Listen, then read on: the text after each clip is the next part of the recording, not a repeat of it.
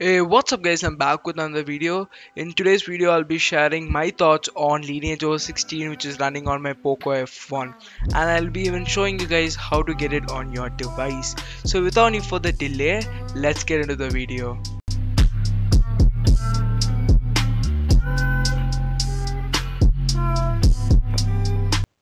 So let's start with the performance. It's running on Android Pie. So once you boot into the ROM, it'll give you a few options like which launcher you want to choose. So for some reason Pixel launcher was crashing so I went ahead and chose the Nova launcher. I'll be leaving the links for the Pixel launcher which is working so check that out.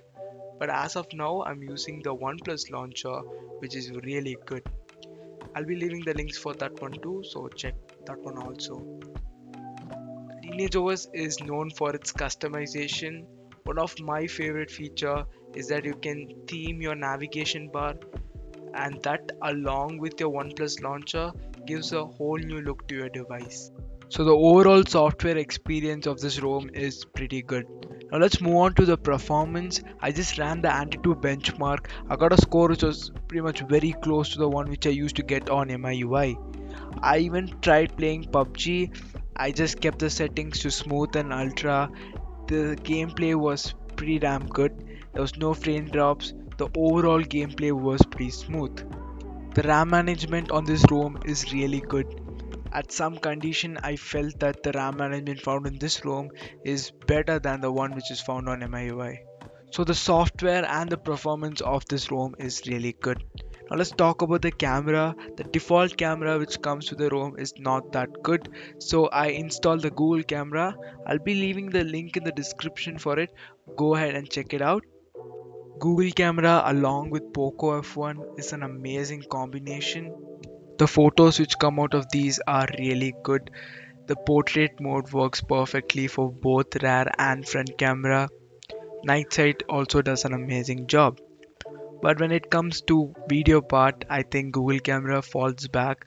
It can do native recording, but it when it comes to other features like slow-mo, it pretty much crash all the time when you choose that option. So if you're a person who's looking forward to use Google Camera for recording purpose, I would not suggest you. Instead, you need to download some other app. But for photo, this does an amazing job.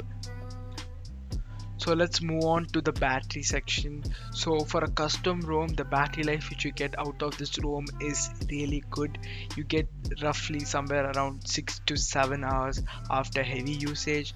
But if you're not going to do heavy tasks, it can easily run through a day. So there are a few other things which I want to mention about this ROM. The face unlock and the fingerprint also works really good. So now let's move on to the installation guide. For this you need to have a custom recovery and along with that you need to have ROM file and the Google app file. If you have all this you're good to go. Now just boot into your TWRP recovery. Before doing anything make sure you take a backup once you're done with that, just go to the wipe section, select the Dalvik, cache, system, data and just swipe.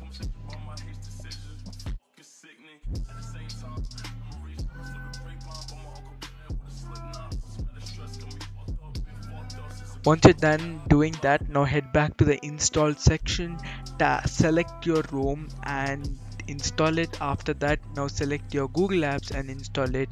So after that you can go ahead and flash any kernel or if you want to root your device you can flash the necessary files. So I just flashed the Franco kernel. So make sure you first flash the ROM then GApps then flash this one and make sure you're downloading the correct version of Google app. I'll be linking all those in the description so check that out. Once you've flashed all of these tap on the reboot system. Know the first boot is gonna take a while. After that you're gonna see the setup screen. Yeah so that's it for the video guys. If you like the video subscribe and tap on the bell mark. Other than it's me signing off like share subscribe and don't forget peace out